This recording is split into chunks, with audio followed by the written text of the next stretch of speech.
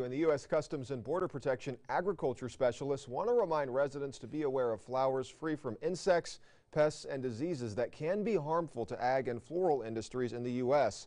Officials say a dangerous pest could cause millions of dollars in damage to our nation's crops. Border officials also say temporary restrictions on non-essential travel remain in effect until May 20th.